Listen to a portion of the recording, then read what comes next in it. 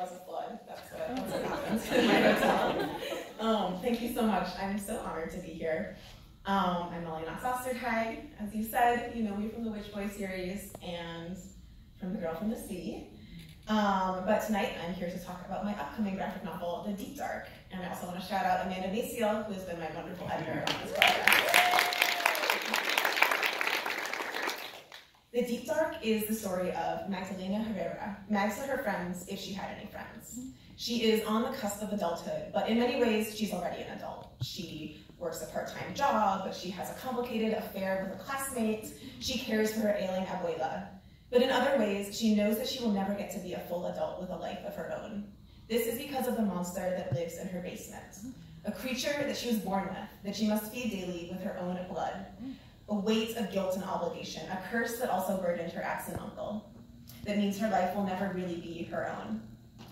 All of this changes with the arrival of Nessa, a friend from childhood with a vibrant life of her own who is intent on connecting with Mags, despite all the blocks Mags has put up to keep people away.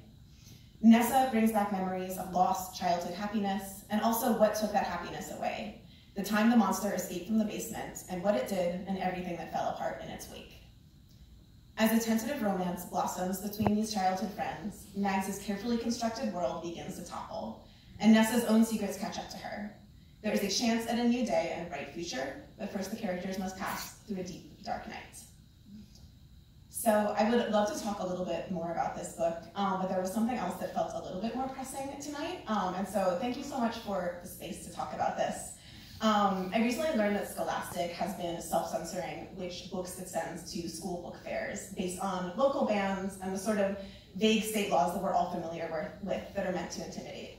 This means that many books, uh, specifically books from black and brown authors, books about racist history and racism, LGBTQ stories, disability, activism, and other quote unquote controversial topics are not making their way to the schools where they are the most needed.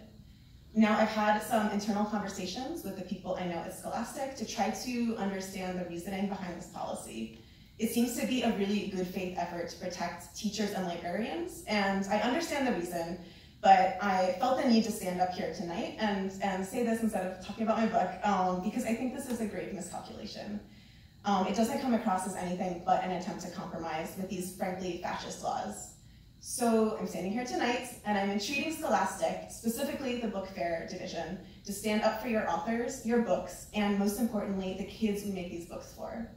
Because books are very literally lifelines. There are a million examples. I think every single one of these books will be a lifeline in its own way. I'll talk about just one way. Um, trans and non-binary children specifically have a really elevated suicide risk. According to the HRC, over 50% of them have attempted for the simple reason that they cannot imagine a future for themselves and they cannot see themselves in the world. When we send books that depict that future and that depict what their world could be and what their life could be, we are sending a lifeline. And I know I've gotten the emails from parents, but especially from kids, about how they carried a certain book and how it became almost a talisman. How it was a friend when they had no friends, safety when they were not safe, and an escape from a world that was unfriendly. So when you allow a single school official to make a choice, no matter what motivates that choice, to sever that lifeline, and when you make it easy for them to do so, it is very literally a matter of life and death. There's a battle being fought over the content of children's books in America right now, and it is not a battle that I think anyone here has started or chosen. It's being waged by a very small, very loud group of bigots who understand a truth that we all in this room also know. Books and the ideas they contain are powerful. This battle is being fought, but it is not even close to over, and I can't see Scholastic's recent fair policy as anything but a capitulation.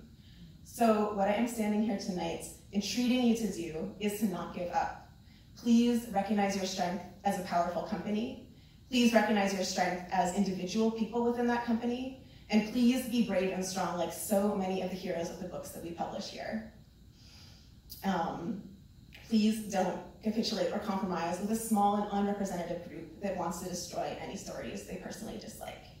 I'm asking you to be an ally to authors like us, to the vast majority of people who do not support book bans, and most importantly, to the kids who need these books more than any of us can really imagine. I know that Scholastic is already doing this in many cases, and I am so grateful and proud to be publishing here.